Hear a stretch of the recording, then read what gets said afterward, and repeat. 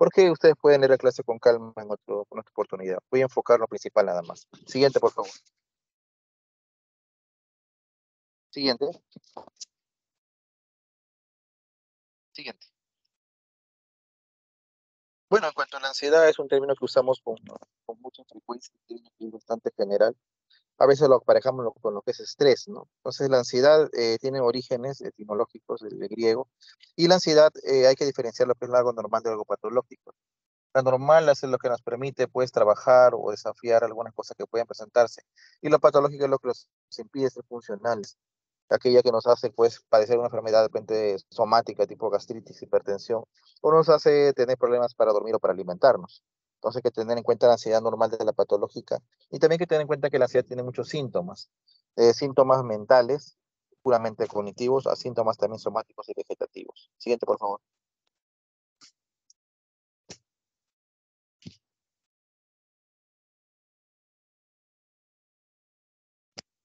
Aquí tenemos los padres de los síntomas somáticos. Lo más frecuente muchas veces con esto es, por ejemplo, la taquicardia, las palpitaciones que una persona puede sentir, lo que es la contractura muscular, ¿no? Lo que siente a veces en la parte cervical, es frecuente de esos síntomas.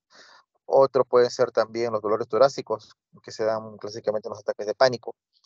Otros síntomas vegetativos pueden ser, por ejemplo, la sudoración, que puede ser profusa o localizada en lo que es las extremidades, ¿no? En las manos. También puede haber lo que es la hiperventilación, la disnea difusiones sexuales como alteraciones en lo que es la, lo que es la erección, eh, la disfagia, las náuseas, los vómitos y también las diarreas.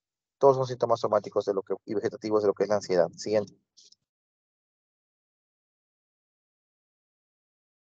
También en la parte de psicoconductual puede haber alteraciones, por ejemplo, puede haber alteraciones en lo que es el sueño, puede haber básicamente un insomnio que es eh, por lo más frecuentemente en la parte de conciliación, sueño inicial.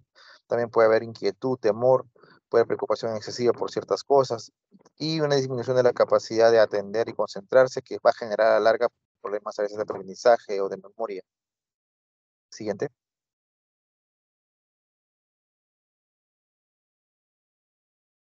Según el DSM-5, hay algunas eh, clasificaciones de ansiedad. Todo eso que, ponemos acá es según el DSM-5. Todas estas categorías pertenecen a lo que es la ansiedad, empezando con la ansiedad de separación, que se da más que todo en niños, el mutismo selectivo, que también se da en niños, las fobias específicas, más frecuente en niños, pero también se puede dar en adultos, lo que es el trastorno de ansiedad social o fobia social, lo que es el trastorno del pánico, la agorafobia y la ansiedad generalizada. Antes se encontraban también dentro de la ansiedad lo que es relacionados al trauma, como el estrés postraumático y el estrés agudo, y también el TOC. Pero ambas situaciones, ambos trastornos están ahora en otro capítulo, en el DCM. Siguiente.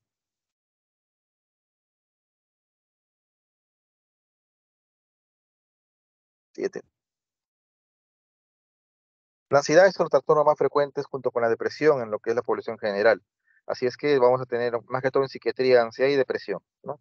Y dentro de la ansiedad, las fobias son las más frecuentes de los trastornos de ansiedad, pero evidentemente suelen ser infradiagnosticados. ¿no?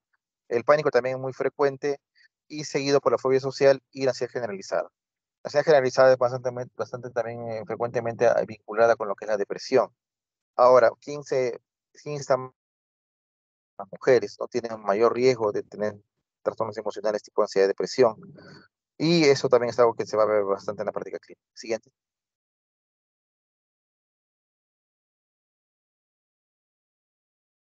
Bueno, hay que tener en cuenta que también la ansiedad puede ser primaria o secundaria, que la ansiedad puede iniciarse a muy corta edad, desde la infancia o la adolescencia y puede ser crónica a lo largo de la vida. Y también eh, algunos trastornos de ansiedad son, son estables a través del tiempo, es decir, quiere decir que puede mantenerse durante muchos años, pese a tener un tratamiento adecuado. Entonces hay que tener en cuenta esos tipos de aspectos, ¿no? que la ansiedad puede llegar a ser crónica que se puede iniciar en infancia o la adolescencia y que algunos van a tener algunos patrones de remisión y exacerbación. Siguiente.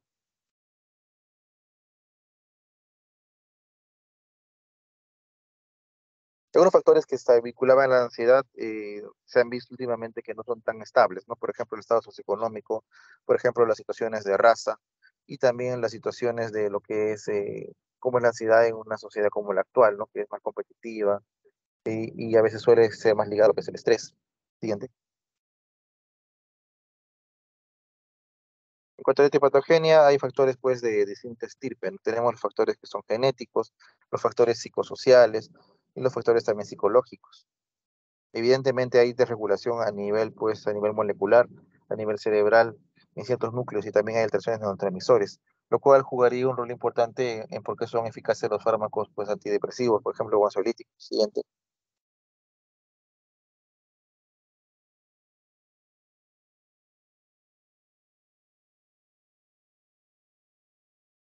Bueno, hay actividades, por ejemplo, de unas ciertas regiones cerebrales del cuerpo con la, por la, parte simpática que estaría incrementada que toda la transmisión enérgica.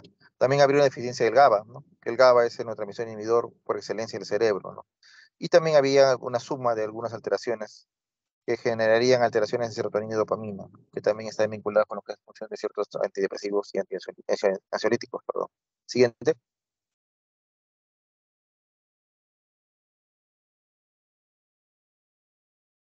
También hay que tener en cuenta que hay ansiedad en, patologías médicas. A veces hay patologías tipo lo que es hipertiroidismo, de repente o alteraciones de la glucemia, o síndrome premenstrual en el cual hay ansiedad, ¿no? Y también hay ansiedad secundaria en otros trastornos eh, psiquiátricos, por ejemplo, en la psicosis, tipo esquizofrenia, en el abuso de sustancias, trastorno de personalidad, entre otros. Entonces hay que tener en cuenta si la ansiedad es primaria o secundaria, y también si la ansiedad es de origen orgánico o es de origen netamente mental. Pues en su momento también hay que entender que hay factores psicosociales para que incrementen la ansiedad, ¿no? Siguiente.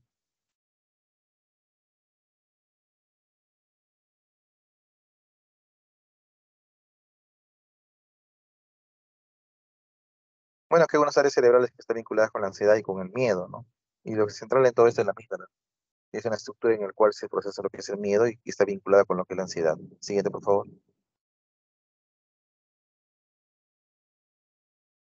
La clínica, siguiente. Bueno, este ah, trastorno es muy frecuente en estos tiempos, ¿no? Cuando hubo la pandemia también mucha gente entraba con la psiquiátrica por trastorno de pánico, es algo bastante frecuente, ¿no? También llamado trastorno de angustia. Y se va a caracterizar por lo siguiente, ¿no? Van a haber ataques recurrentes y frecuentes de ansiedad, los cuales se van a presentar de forma espontánea, o sea, no pasaba nada y un momento otro empieza a tener esas situaciones, esos ataques, en los cuales hay síntomas somáticos, síntomas psíquicos, ¿no? Eh, la prevalencia puede ser un 2% de la población, más frecuente en mujeres, y se va a iniciar generalmente en la veintena, ¿no? que también hay personas que inician los 30 años. Entonces hay que tener ese tipo de, situaciones que se pueden presentar en el trastorno de pánico. Siguiente, por favor.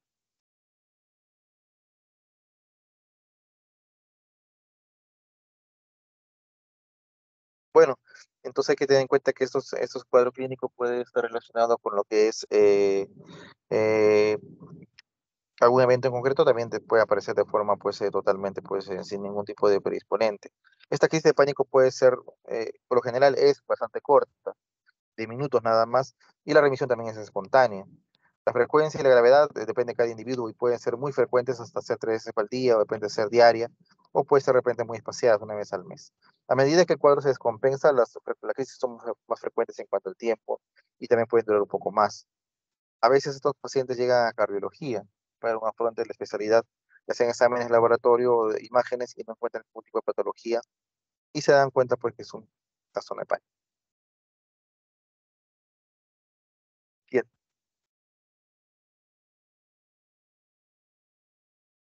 Los síntomas somáticos que pueden haber son, diferentes, pero lo más frecuente es el dolor torácico, un dolor torácico que se va a la región precordial, incluso puede llegar a tener irradiaciones como un infarto.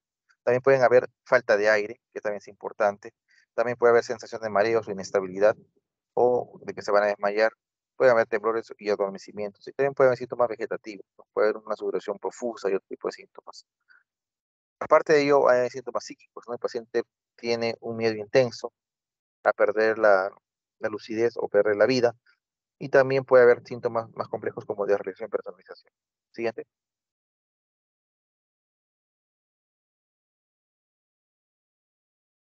Bueno, también a veces uno se asocia a lo que es la agorafobia, ¿no? Pánico con agorafobia.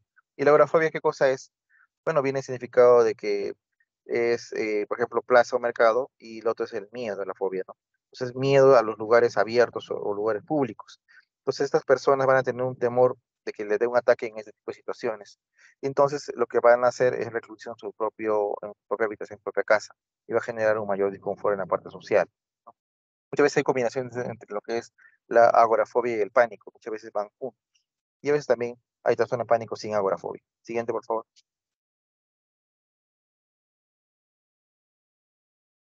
Bueno, acá está la agorafobia, ¿no? Muy especial de que ocurren esos ataques en sitios públicos y modifican sus hábitos de vida, procurando salir poco a la calle, ¿no? Entonces la persona se va recluyendo poco a poco y haciéndose menos social. No, la agorafobia tiene impacto en principalmente en la vida social o en la vida familiar del, paciente y también va a tener una, evolución mmm, mucho peor que un pánico solo. Siguiente. Pasando a lo que son las fobias, son temores que son desproporcionados hacia una situación, objeto o animal, por ejemplo, ¿no? Son fobias que son las más frecuentes de todas y, y algunas poblaciones las tienen con una, con una cronicidad importante. Algunas personas lo tienen solamente en la adolescencia o en la niñez y poco a poco van superando sus miedos, pero otros van hasta la adultez con sus miedos y precisamente esos son los que buscan atención psiquiátrica o psicológica, ¿no? Entonces hay un temor, un miedo, una vergüenza, ansiedad intenso que el paciente reconoce como irracional, pero que lo siente hacia la exposición a cierta cosa, que puede ser diferentes estímulos. ¿no? Eh, cuando el paciente no logra evitar este tipo de estímulos, puede llegar a una crisis de pánico, porque el miedo es tan intenso que el paciente puede llegar a tener un sufrimiento psíquico. Sí. Siguiente, por favor. Bueno, la clasificación de la fobia puede ser en tres tipos, específica, social y la agorafobia que ya hemos hablado hace un momento. Siguiente.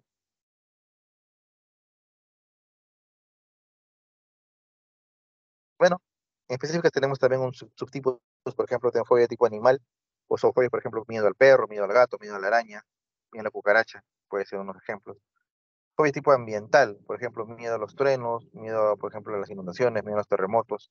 Fobia tipo médico, por ejemplo, miedo a las inyecciones, por ejemplo, miedo a las transfusiones, por ejemplo, miedo a ir a un centro de salud, etc. Y fobia tipo situacional, por ejemplo, miedo a lo que son las alturas, u otro tipo, a los asesores u otra cosa. Entonces vamos a ver que son miedos desproporcionados que van a generar que el paciente tenga temor a enfrentarlos y a veces puede derivar en ataques de pánico. Siguiente. Aparte hay una fobia que se llama social, o ansiedad social, que es aquella que impide que el paciente tenga una vida social adecuada. Puede ser que el paciente tenga miedo a exponer en público, miedo a comer en público, porque tiene miedo que sea descalificado o sea, pues de alguna forma ridiculizado. Entonces, la fobia social es un, una patología que es importante porque va a alterar la vida social del paciente, no va a hacer que ese paciente sea aislado socialmente por temor a que sea rechazado. ¿no? Siguiente.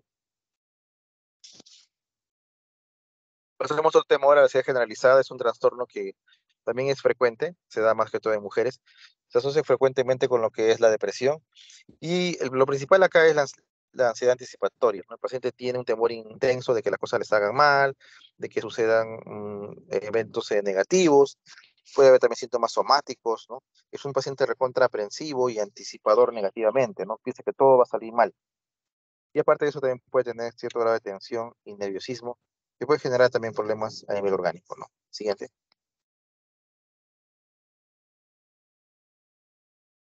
Bueno, la prevalencia está acá en la diapositiva mayormente mujeres, va a haber comorbilidad frecuentemente con lo que es a veces depresión, abuso de drogas, entre otros, y también pueden haber molestias eh, somáticas atípicas. También vamos a ver que el cuadro aparece lo que es pues la, la adolescencia y puede cronificarse. Siguiente, por favor.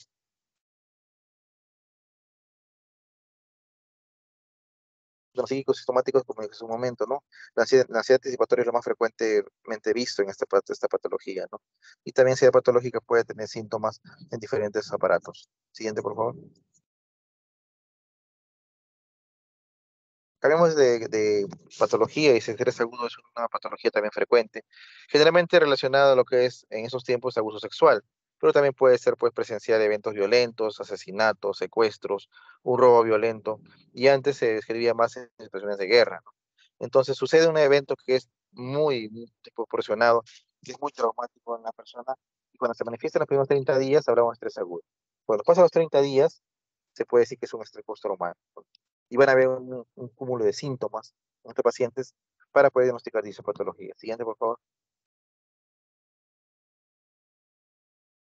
Tenemos acá, por ejemplo, el estrés agudo, generado por una situación traumática importante. Pueden haber factores predisponentes importantes también. Y van a haber, pues, eh, situaciones en las cuales el paciente, pues, pues eh, no controla eh, ideas, esos pensamientos, tampoco controla esos temores de que pueda pasar cosas traumáticas, entre otras, ¿no? Siguiente. Bueno, eh, se inicia este estrés agudo después de la exposición a, exposición a un trauma intenso severo, ¿no? Estos síntomas pueden durar unas horas eh, durante el día que ha pasado el trauma eh, y también algunos pueden llegar hasta, hasta el mes, que es también lo, lo que puede suceder.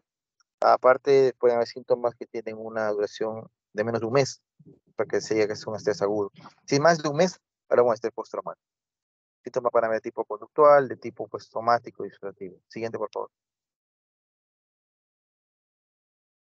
Bueno, en general hay un hecho traumático intenso que va a generar síntomas en la persona, va a haber mucha ansiedad, va a haber hiperactivación autonómica, va a haber aturdimiento, embotamiento afectivo, y poco a poco la persona va recuperando lo que es el recuerdo, y después de muchos, a veces muchos días, a veces meses, va a tratar de, liberarse de lo que son los, los cuadros eh, por fuera que pueden empeorar o disparar ese tipo de situaciones, ¿no? Siguiente.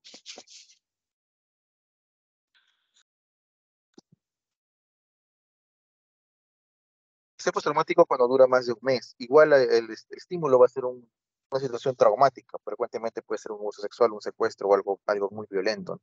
Igual es una respuesta tardía a un, a un trauma, a una catástrofe. Evidentemente van a haber síntomas, ¿no? Van a tres síntomas principales, ¿no? La rememoración excesiva del hecho traumático, la evitación de estímulos que recuerden el hecho traumático y la hiperactivación vegetativa. Siguiente. Bueno, en este caso, eh, el hecho traumático es rememorado, recordado y muchas veces es reexperimentado. Reexperimenta lo que fue la violación, reexperimenta lo que fue el intento de, secuestro.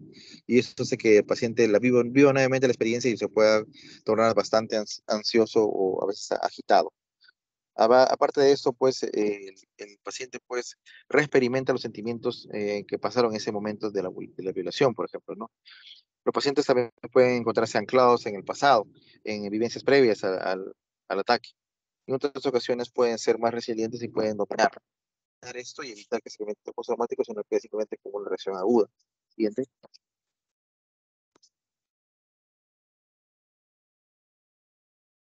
Bueno, tenemos los síntomas, la evitación de estímulos que recuerden hecho traumático, ¿no? Por ejemplo, si fue violada en una habitación de paredes rojas, va a tratar de evitar paredes rojas porque pueden llevar a tener ese tipo de situaciones. Hiperactividad vegetativa, ya lo hemos visto también, hipervigilancia, eh, irritabilidad, insomnio, y también lo, que, es, lo que son, pues, eh, sobre, sobresaltos, ¿no? Otros síntomas que pueden haber también en esta patología, bueno, mala concentración, agresividad, abuso de sustancias. Por favor. Siguiente. Diagnóstico básicamente de trastorno de ansiedad es por cuadro clínico. Ustedes tienen que leer el DSM y el CIE y van a ver que hay criterios diagnósticos, ¿no? Entonces van a decir, si suman tres criterios diagnósticos, tenemos la patología. Si no suman, queda como patología no reconocida. A veces hay que sacar examen de sangre y imágenes cuando hay que descartar causas orgánicas de la ansiedad, pero no siempre.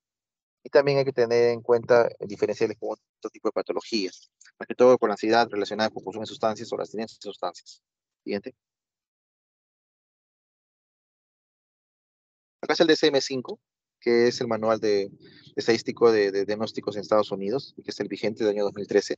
Vemos acá claramente cómo está separado lo que es los trastornos de, ansiedad del TOC y de lo relacionado con estrés, ¿no? Están en categorías eh, separadas, están en, un mismo. Aparte de ello, eh, tenemos eh, un, un también de ansiedad en otro tipo de situaciones. Por ejemplo, acá dentro de SM5 tenemos que considerar estos de acá. Mutismo selectivo, fobia específica, pánico, agorafobia, entre otros, ¿no? Ese es de SM5. Siguiente, por favor.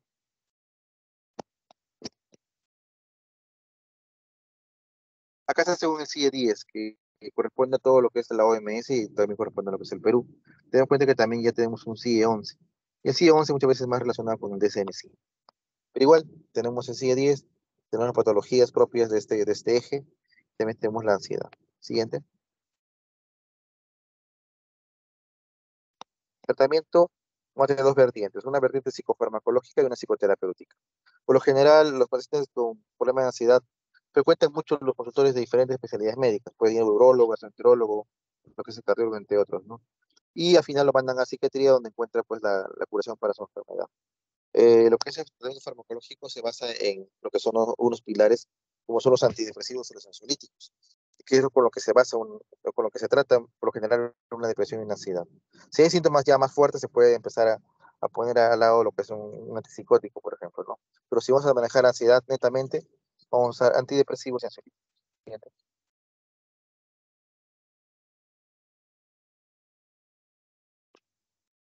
Acá vemos algunos fármacos antidepresivos y la indicación por la FDA, para que sean indicados y también sus dosis terapéuticas. ¿no? Como vimos, lo más indicado, lo más eh, usado en Perú para manejo de ansiedad y depresión es sertralina y fluoxetina. Y en la práctica privada es citalopram, ¿no? que es mucho más caro, pero también es más eficaz. ¿no? En la parte de, de lo que son eh, eh, fármacos de tipo GABAérgico, tenemos también la pregabalina y gabapentina, que también pueden bajar la ansiedad. Siguiente positiva. Una preguntita. Tenemos acá la bospirona. Tenemos unos medicamentos como antipsicóticos que se utilizan en ansiedad que son severas, ¿no? Si una ansiedad no mejora con lo que es eh, ansiolíticos y antidepresivos, buscamos lo que es antipsicótico, ¿no? Más usados que tiapina y lanzapina. Y menos usados propranolol, por ejemplo, y otros medicamentos antihistamínicos que pueden generar también sedación y baja de ansiedad. Siguiente. Eso es del Kaplan. Vamos a ver que hay un puntos importantes en tratamiento de ansiedad. Por lo general se inicia con un ISRS, como dije en la mañana, ¿no? Para ansiedad y para depresión. Se inicia despacio y se avanza despacio, ¿no? Dosis bajas, por lo general. Podemos iniciar de repente con mitad de 20 miligramos de fluoxetina o con mitad de 50 miligramos de sertralina y titular cada 5 o 7 días hasta encontrar una dosis promedio. También ah, se puede decir que es una forma de administrar, dar junto con el ISRS benzodiazepinas, tipo clonazepam, por ejemplo, más que todo para manejo inicial del problema, para bajar la ansiedad de una forma más rápida. Iniciar, por ejemplo, con 0.5 o con la mitad de 0.5 en la noche. Y si hay mucha ansiedad, podemos de repente dar cada 12 horas o cada 8 horas dependiendo del paciente. También tenemos en cuenta lo que son la farmacoterapia y cuánto tiempo de administrarlo. Por lo general, para que haya una, para que haya una respuesta, a veces puede demorar 8 semanas, o a veces 12 semanas pero el tratamiento va a prolongarse muchas veces hasta dos meses al año, por eso un primer episodio. Son varios episodios, a veces pueden requerirse más tiempo, ¿no? A veces dos años o tres años, y si hay más tiempo ya pues de forma indefinida. Muy bien, es un resumen en cuanto a lo que es ansiedad, que hemos visto lo que es el trastorno de pánico, la ansiedad generalizada, las fobias, eh, lo que es la agorafobia, fobia social, y estrés postraumático y estrés agudo, ¿no? Entonces son patologías de ansiedad en las cuales vamos a encontrar como síntoma principal la ansiedad en sí, con síntomas somáticos, síntomas psíquicos y también con insomnio, con los cuales vamos a tratar de mejorarlos con medicamentos y con psicoterapia. Medicamentos más empleados, los ISRS, inicialmente con benzodiazepinas añadidas, y puede ser también usada la psicoterapia, dentro de todas, la cognitivo conductual es la que es más usada en lo que es ansiedad y que puede tener grandes resultados. Lo mejor, ¿cuál sería? Lo mejor sería si es una ansiedad leve, manejarla con psicoterapia. Si es una ansiedad moderada, severa, manejar con fármacos y con psicoterapia. ¿no? Entonces tenemos que tener en cuenta que ambos son importantes y ambos pueden tener tratamiento. ¿Alguna pregunta acerca de la clase de ansiedad? Profe, una preguntita. Dijo que el tratamiento para la ansiedad, uno de los medicamentos era la, la sertralina. Pero la sertralina, la sertralina es un antidepresivo, ¿no? Claro, o sea, el término antidepresivo queda corto. El antidepresivo, acuérdense ustedes que no solamente queda para la depresión, el antidepresivo también se utiliza para lo que es la ansiedad. O sea, si uno dice usa un antidepresivo como sertralina o fluoxetina, vamos a entender que puede ser manejado para la depresión o puede ser manejado también para la ansiedad. O sea, no se dejen engañar por el nombre. Igual, el antipsicótico también no solamente es para psicosis. Muchas veces damos también antipsicóticos para, por ejemplo, trastorno bipolar en fase maníaca podemos antipsicóticos o trastorno bipolar en fase depresiva, sin tener síntomas psicóticos. Entonces hay que tener en cuenta eso, ¿no? Los nombres a veces son engañosos, ¿no? Si uno usa un antidepresivo, no solamente es porque está deprimido, sino también puede ser porque tiene un trastorno de ansiedad. Y si uno usa un antipsicótico, no solamente es porque es psicótico, sino también puede ser, por ejemplo, porque está teniendo un problema de repente de trastorno bipolar, o también de repente un problema también de agresividad, o tu problema de una persona inestable, entre otros. ¿no? O sea, no hay que encasillar el, el fármaco con una patología en especial. ¿Alguna otra pregunta?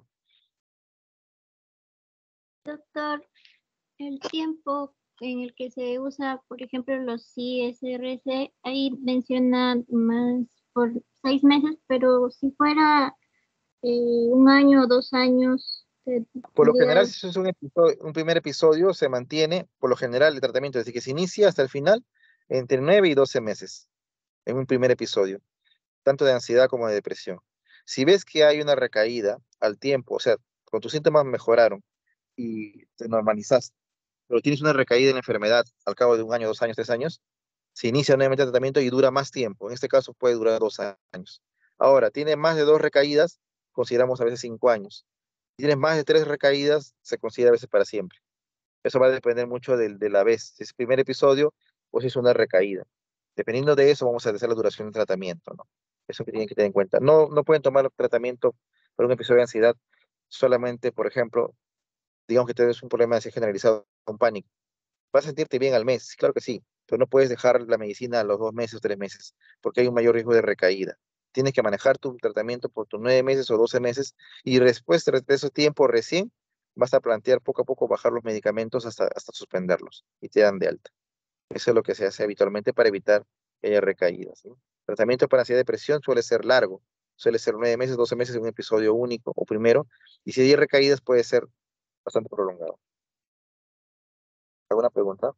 ¿Más? Sí, doctor, pero sería este dañino usarlo por tanto tiempo, como dos años a cinco años. Eh, en realidad no. Lo que sí sería da- dañino a veces es usar benzodiazepinas mucho tiempo, porque ahí sí se ha demostrado que a veces cuando usan mucho tiempo benzodiazepinas, tipo clona, prazolam, puede haber un deterioro de la memoria o puede haber riesgo de dependencia. Pero si es un ISRS, un antidepresivo, el riesgo de dependencia no existe. Lo que sí existe es un síndrome de descontinuación. ¿Eso qué quiere decir? Que si tú dejas abruptamente un antidepresivo tipo, por ejemplo, paroxetina, citalopram o venlafaxina, eh, puede haber síntomas, por ejemplo, tipo eh, diarrea, náuseas, mareos. Y poco a poco se van a ir los síntomas, a las dos semanas. Pero lo adecuado sería precisamente es que la medicación se quite de forma gradual, para que se reduzca al mínimo los síntomas de descontinuación. Eso es lo que podemos ver. La dependencia es diferente. La dependencia es un cuadro en el cual tú vas a requerir cantidades más altas de medicamento para que puedas sentirte más tranquilo. Y eso sí se puede ver más que todo en mesocepinas. Por ejemplo, el prazolam. Si antes con un alprazolam, con uno, te sentías bien, hay personas que pueden requerir que tomar dos o tres o cuatro o un blister y cada día requieren más. Eso sí es una dependencia. Y eso se ve más que todo eh, con el uso del prazolam y con unas mesocepinas, ¿no? Entonces eso hace que nosotros no, no usemos mucho el prazolam a veces. Lo usamos por tiempos cortos, digamos, de un tiempo de un mes o máximo dos meses y luego de eso lo descontinuamos. Pues es la idea de iniciar acompañando al antidepresivo al menos el primer mes y de ahí poco a poco descontinuar el medicamento benzodiazepínico hasta suspenderlo y dejar solamente el, el paciente con tratamiento con, con el antidepresivo, ya que eh, el riesgo de dependencia es bastante bajo, casi nulo. ¿Claro? ¿Y los antipsicóticos Psicóticos tendrían igual. algún problema al usarlo co- como la que te? Eh, en general, los, los problemas de los antipsicóticos, más que todo el síndrome metabólico. Por ejemplo, pueden hacer que la paciente, paciente pueda engordar.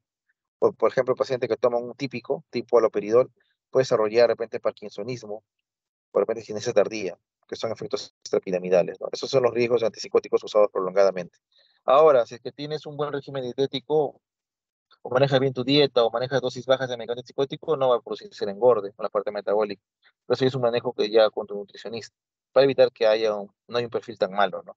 Aparte de medicamentos antipsicóticos que no generan efectos metabólicos, por ejemplo, aripiprazol, flurazidona, ciprasidona, entre otros, que tienen un mejor perfil metabólico, pero también tienen otros efectos colaterales diferentes. Entonces hay que tener en cuenta que cada medicamento tiene efectos colaterales y hay que sa- saberlo, hay que investigarlo para poder informar bien al paciente. No, pero todo medicamento usado crónicamente tiene ciertos problemas, pero por lo general lo que usamos son seguros, ¿no? Doctor, eh, si por ejemplo un paciente eh, depresivo se olvidó de tomar su pastilla o se fue de viaje eh, o deja de tomar por quizás, eh, ¿qué tiempo eh, se vería afectado su tratamiento si deja de tomar? No Depende, si- si dejas un, un día, dos días, no hay problema, puedes retomarlo.